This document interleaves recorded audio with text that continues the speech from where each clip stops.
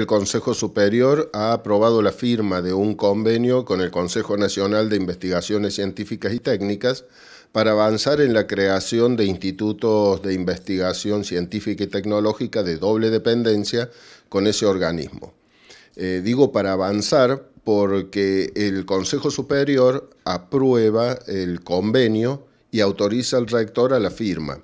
Por su parte, el Consejo Nacional de Investigaciones ha entrado el convenio al directorio, eh, creo que también lo trataban en el día de hoy, y una vez que es aprobado por parte de ellos o que se produzca alguna observación, queda allanado el camino entonces para que ambas autoridades de las instituciones, por el CONICET, eh, el doctor Secato, y por la Universidad del profesor Rovere, eh, proceden a la firma del convenio.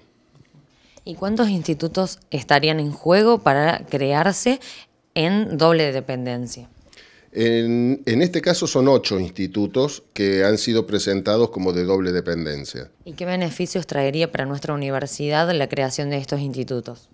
Bueno, desde mi punto de vista los beneficios son múltiples. Está el, el hecho de que al abordar gestiones conjuntas con el Consejo Nacional de Investigaciones, eh, permitirá de alguna manera ordenar la vinculación que tenemos de hecho ya por el número de investigadores que se desempeñan en la Universidad de Río Cuarto y el número de becarios que, hay, eh, que existen hoy en la Universidad de Río Cuarto.